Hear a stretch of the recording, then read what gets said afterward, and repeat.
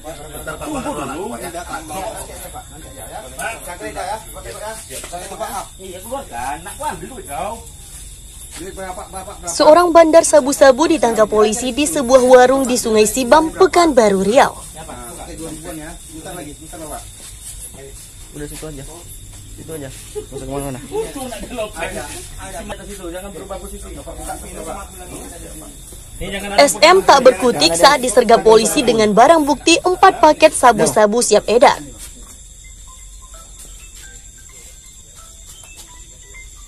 Penangkapan tersangka merupakan pengembangan dari tersangka TT dan UP yang telah ditangkap lebih dulu.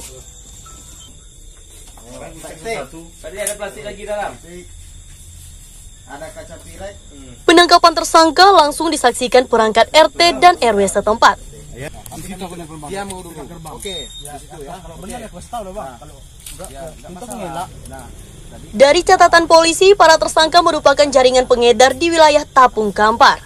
Enggak doang, aku dikawal di jalan bang. Aku abang kawal di jalan bang. Dari sana sampai sampai ke warung.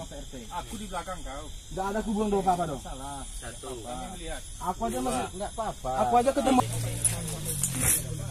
Guna penyelidikan lebih lanjut, tersangka dibawa ke Polres Kampar.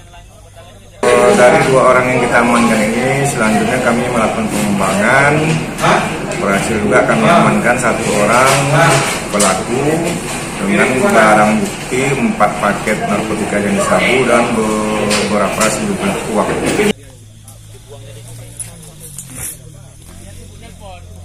Tersangka dikenai pasal 112 Undang-Undang Nomor 35 Tahun 2009 tentang narkotika dengan ancaman hukuman 5 tahun penjara.